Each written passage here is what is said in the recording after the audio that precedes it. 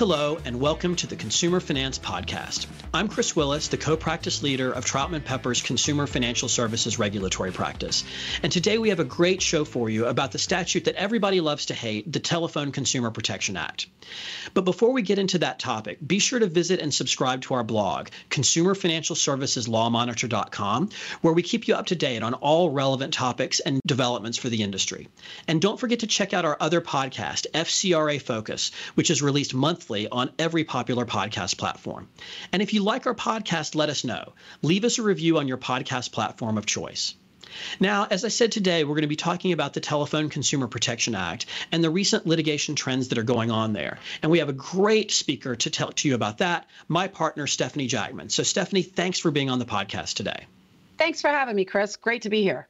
Now, I know that you handle and have handled lots of Telephone Consumer Protection Act litigation, and it seems like maybe people thought that that was an area that was going away after the Facebook decision. So, like, can you tell our listeners, is it really going away? And how did the Facebook decision change the landscape for this litigation? I would say that it's not going away yet, but it has very much so changed the landscape.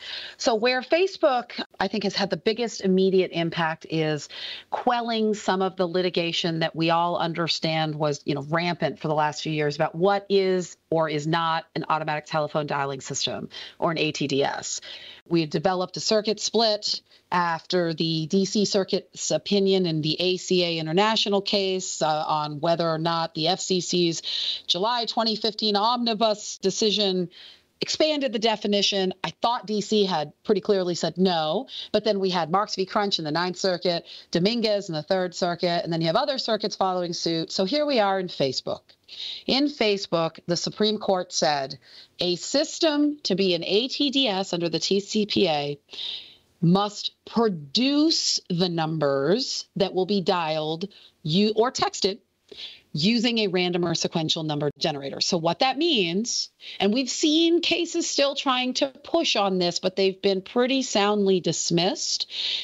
What that means is that when you are creating the list of numbers to call or numbers to text in a separate system that's not integrated with your dialing system, and then loading it into your dialing system because the numbers that are being contacted were not generated by your dialer, they weren't produced by your dialer using a random or sequential number generator, it doesn't make it an ATDS just because your system is now dialing them in some random or sequential way or texting them in some random or sequential way, which is what the Eighth Circuit opinion held. But where we are seeing, I think, a real focus and effort to keep things alive is shifting. So we're seeing ATDS start to kind of coalesce around the Supreme Court really meant what it said, and courts seem to be sticking to that pretty consistently at this point, in my view. But where we're seeing a, an uptick are challenges to texts in order to classify them as pre recorded or artificial voice messages, which can be sent without using a dialer and still be subject to the TCPA. And we're also seeing a big focus on the use of IVRs and other automated messages, either as part of your dialing strategy. Maybe you have one of the technologies that, as part of pacing, will play a recorded message about, we're just about to connect you, hold please. Or as part of an ongoing conversation with a consumer, you're going to read a script. And your, your company has decided, let's have that script be played by an automatic voice or you know a recorded voice because it'll ensure consistency seems like a good idea. But if there isn't consent there's being a tax there. That doesn't mean that these are going to succeed but IVRs and text messages and the extent to which they may or may not be pre recorded voice remains a real area of focus by plaintiffs' attorneys. And then we're also seeing states begin to become focal points to keep litigation on the ATDS issue alive. For instance, Florida. We're seeing plaintiffs' lawyers argue that Florida's, I like to call it mini TCPA, isn't touched by Facebook because Florida's statute doesn't define it as an ATDS. It uses a different term, uh, an automatic dialing system, but doesn't have telephone in it or something like that. And therefore, Facebook is specific to something that qualifies as an ATDS. Florida is not talking about an ATDS, it's talking about a different dialing system. And these are still all alive and well, is the approach we've seen down there. So it's remaining in flux, Chris, and clients are still having to spend some time and money litigating these claims.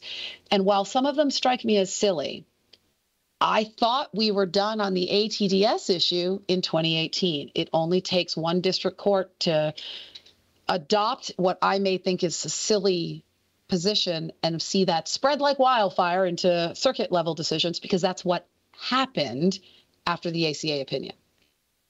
Well, thanks a lot for that. And so you've made some comments about what the litigation landscape looks like today and some of the theories that you're seeing the plaintiffs' lawyers push and even some courts entertain. Are there other sort of TCPA theories that have come to the forefront in the aftermath of Facebook besides the ones that you just mentioned?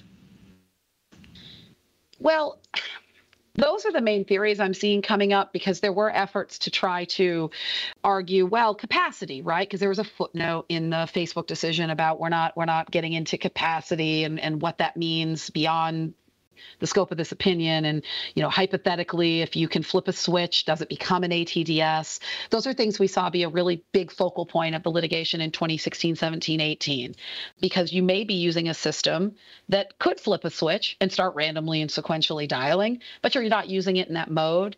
My sense is we're seeing those be argued from time to time but I don't I don't perceive them to be getting much traction, but I'm still advising clients that the more separation you can have between the system that is generating the list of numbers and the system that is contacting them, the better, right? To try to avoid just enterprising opportunities to argue about is this sufficient capacity. But I'm not seeing, when that does come up, I'm not seeing that get a lot of traction.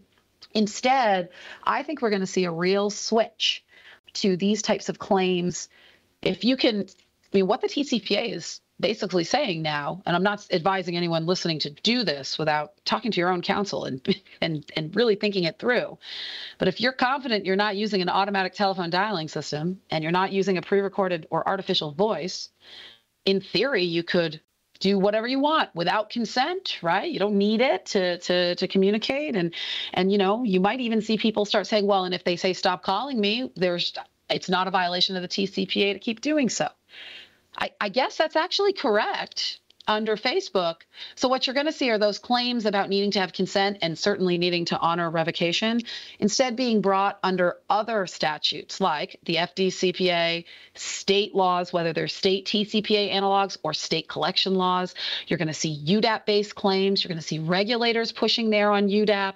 And you could see these claims being brought, and we are under state invasion of privacy and other tort statutes. So I mean, it's great that we're not having to expend the amount of time, or I hope you're not having to expend the amount of time and money we did on litigating what is or is not an ATDS and what the capacity is or isn't. But I'm not telling clients to just turn up their dialers with abandon. And you certainly need to continue to be mindful of revocations because there are a number of other laws that can be used to argue that ignoring a request to not get a call or a text or continuing to call even without consent if it's at really high levels that the consumer feels are abusive or harassing, there's plenty of other laws available for which they can use to bring a suit against you. Well, let's talk about that for a second because one of the big things in TCPA litigation in the past has been the do not call class action. You called me after I said don't call or I revoked my consent. And there were all this case law under the TCPA about what constituted a revocation and whether it was effective or not. And you've mentioned a minute ago that there are other laws, even if the TCPA doesn't apply, where plaintiffs might bring claims for calling me after I said don't call. What would those be? Well, it's like what I was mentioning. It's going to be state collection laws, the FDCPA, state invasion of privacy claims, state UDAP, state unfair business practices. Uh, you could even see uh, equitable theories of, uh, you know, I don't, I'm not an equitable theory expert, and I don't think we have to get that far. But you think about they could put on their um, conversion of my phone for all the times that you took up. So they're just going to migrate to different statutes the good news, I think, is that in many instances, like think about the FDCPA or some of the state FDCPA analogs, there's caps, right? There's caps. So that's the thing that was so powerful about the TCPA is that if you made a mistake, there was no cap if a class is certified against you, and you could be in the millions and even billions of dollars of potential damages. So that gives a little comfort, but they'll migrate and you'll have state based classes. You'll have individual matters. The plaintiff's bar has gotten very adept at litigating, filing and litigating thousands of arbitrations when we are, you know, in a circumstance where we have an arbitration clause with a class action waiver. So that's where I think it'll migrate to as opposed to going away. You mentioned state laws and particularly the Florida law earlier in the podcast. Can you give the audience a sense for, you know, what's in these state TCPA analogs or mini TCPA laws that companies need to watch out for? Florida is the one that comes to mind and that has in, spawned the most litigation so far at the state level there have been, I know Vermont was trying to pass kind of something similar. I don't think it happened. I'm trying to recall. So, Florida is where we've seen the most uh, aggressive frontal attack, if you will, in trying to keep the TCP alive in one jurisdiction. But it's an area to watch because there are a lot of state laws that are starting to. That already exist talking about different restrictions and requirements when you're using like ADADs, automatic dialing announcement devices, which can also be an ATDS, but can also be something different. We're seeing caller ID laws, we're seeing anti spoofing laws, and those are, are being passed with some frequency and regularity in the last few years so I think it's just a good time to be mindful of the state overlay here and just what telephony you're using and how it stacks up against those laws. Uh, there's contact restrictions too. Like New York has a bill right now, and DC has a bill where you're capping the amount of email or text or requiring consent, and they're coming up in the collections context. But Florida, for just a straight up TCPA analog, is the one that we've seen the most action in to date. So it seems like, based on what happened in Facebook, a lot of companies may want to begin using their dialer systems on accounts where they don't have specific consent, the consent that we thought we would need under the TCPA. What are your thoughts on whether that's feasible and what risks might be involved if somebody goes and does that? Yeah, I mean it's a great question, and I've been asked a lot, and I, you know, it's it's one of those areas where we can wear our compliance hat, which would have me say, I wouldn't turn them up quite yet. There's a lot of uncertainty. There's a lot of evolving considerations at the state level. You know, how confident do you feel that you can manage all that? There's also the reality and you know practical business strategies, which are all right, but you know, text can be a really great way to communicate with a consumer a call. It can be a really great way to try to get in touch with somebody. And i'm seeing a willingness to at least try once. I am of the mindset that having some level of consent for text is still a really good idea because we're not, in my view, out of the woods on text yet. I have lots of people tell me that the theories that are being made that text are pre recorded or artificial voice are silly and ridiculous and stupid. And I agree. I mean, those are actual words that have been used. I think the decision out of the Central District of California reward zone, which is the only case I'm aware of to actually come to a decision on this, but it's not binding. It's a single district court decision. It's helpful. It's from California, but they, I think, actually use the word ridiculous in the opinion. But I can't get past what happened with the ATDS issues and divergence that got us to Facebook. So I'm not quite ready to bless a text campaign without some basis for prior consent. For calls, I think it's something that more industry members are willing to to do. Calling a cell phone where you don't have consent in a transactional context, marketing still the TCPA hasn't changed over there. I think it's a larger discussion about your overall contact frequencies and strategies and what do they look like. But I would say that if you're going to get a little more aggressive from a TCPA specific perspective, it's calls to cell phones where you probably have the best risk mitigation opportunities. Well, thanks for that. And do you have any other best practice recommendations for TCPA compliance in today's world?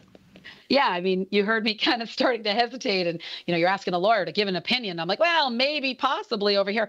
I still think a best practice is to have consent. I think a best practice is to get consent before you contact people on their cell phones and send texts and send email because of all these other ancillary statutes in the collections world, the invasion of privacy world, and the UDAP world that are already starting to be used to come in and avoid what is the fear of consumer advocates that the TCPA will allow unfettered communications to numbers and by text on cell phones that are invasive and not desired, right? So I'm expecting there'll be aggressive and creative theories on why, under those other statutes, we still have to worry about the exact same things we did under TCPA. So my best practice recommendation is still have some consent, some level of consent, some good faith consent. And then in the opportunity, op, uh, when you're attacked because you didn't or you missed a revocation, all these things we're talking about today can be really great litigation strategies. I just don't like to build my compliance programs based on a litigation defense strategy. Understood. And that makes a lot of sense. And your years of litigation experience dealing with TCPA cases is clearly showing through in that answer. And in fact, all of the important insights that you've shared with us throughout the podcast. So, Stefanie, I want to thank you for being on today um, and sharing that wisdom with our audience. And of course, thanks to our audience for listening to the episode.